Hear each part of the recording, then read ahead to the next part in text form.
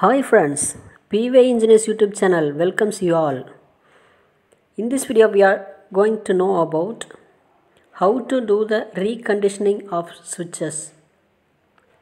இந்த வீடியோவில் points and கிராசிங்கில் இருக்கக்கூடிய சுவிட்சு போர்ஷனில் டங்குற இல்லை ரீகண்டிஷனிங் எப்படி பண்ணுறதுங்கிறத பற்றி பார்க்க போகிறோம் if tongue rail is shift R cracked our own out up to thousand MM from the actual to of சுவிட்ச் means we can go for reconditioning tongue actual to of சுவிட்சு அதாவது ஏடிஎஸ்லேருந்து ஒரு மீட்டருக்கு தௌசண்ட் எம்எம்குள்ளார ஏதாவது சிப்புடு ஆர் கிராக்குடு கொஞ்சம் கொஞ்சம் லைட்டாக உடஞ்சிருக்கிற மாதிரி இருந்துச்சுன்னா நம்ம ரீகண்டிஷனிங் பண்ணிக்கலாம்.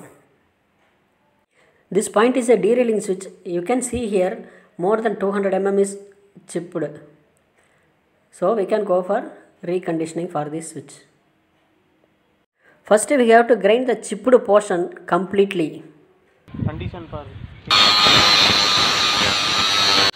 ஃபஸ்ட்டு சிப்புடு போர்ஷனை கம்ப்ளீட்டாக கிரைண்ட் பண்ணி ஸ்மூத் பண்ணிடணும்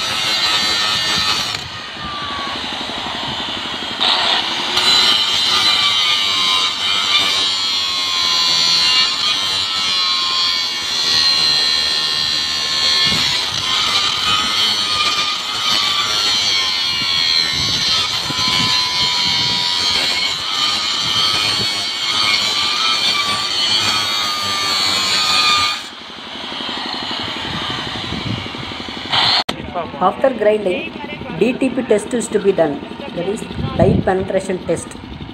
Dye penetration kit is to be used.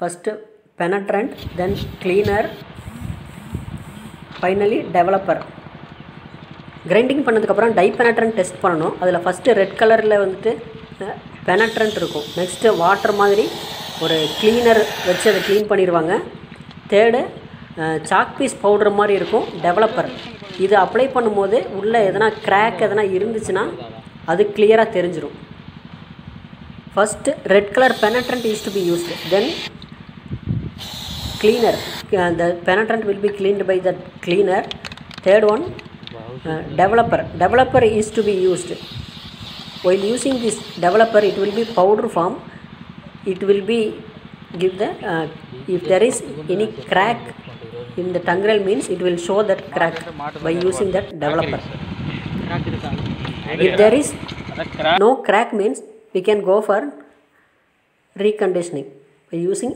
arc welding dye penetrant டெஸ்ட்டில் எதுவும் கிராக் எதுவும் இல்லைன்றதை கன்ஃபார்ம் பண்ணதுக்கப்புறம் நம்ம வெல்டு வைக்க ஆரம்பிக்கலாம்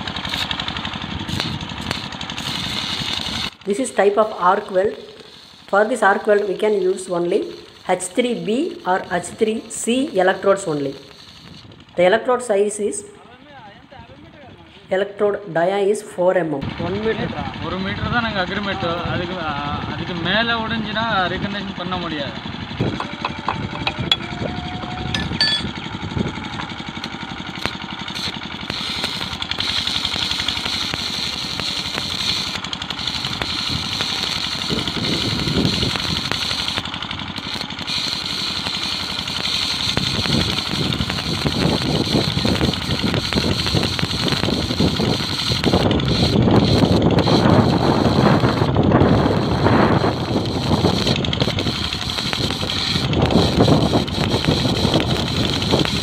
should be welded layer by layer.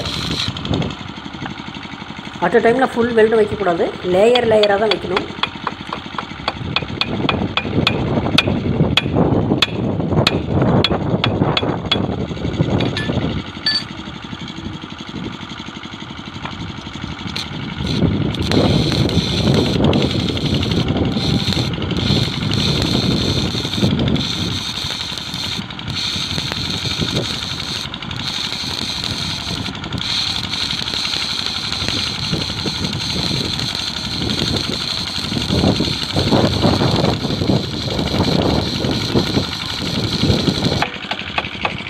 Welding should be done layer by layer.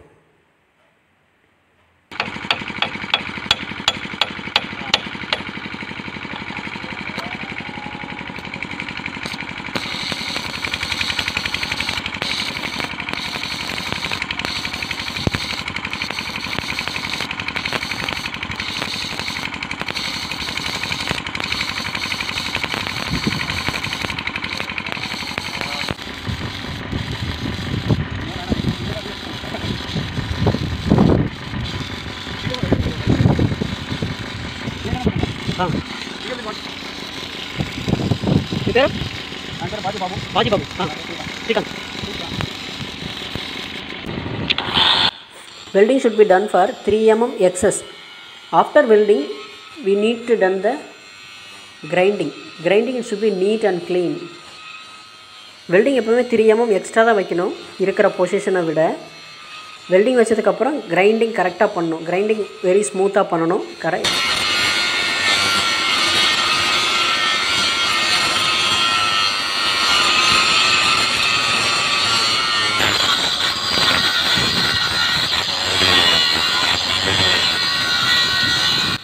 If grinding is not done properly, it may cause for improper housing. Grinding கரெக்டாக பண்ணலன்னா housing correct ஆகாது so grinding is very important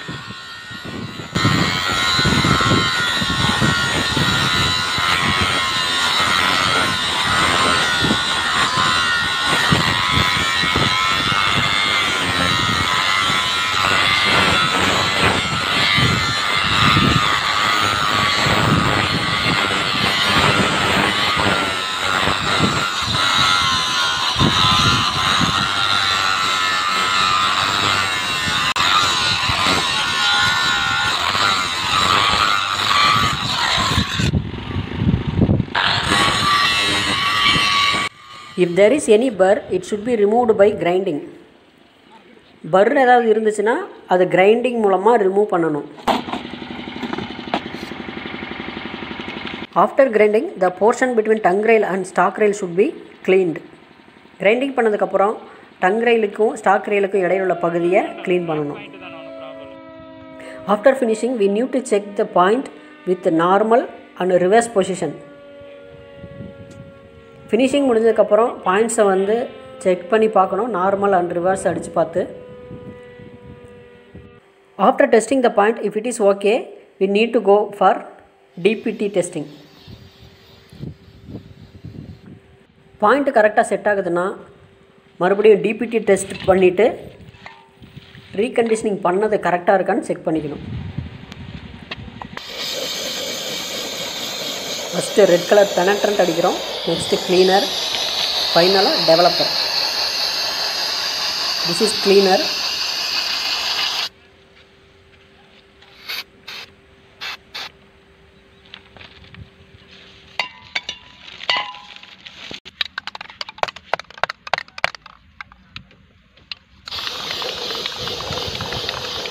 this is developer. If there is any crack means this developer shows that crack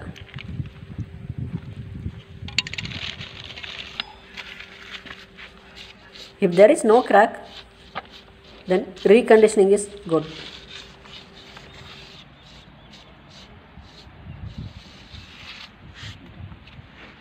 finally grease is to be applied to the tongue rail ஃபைனலாக greasing apply பண்ணும்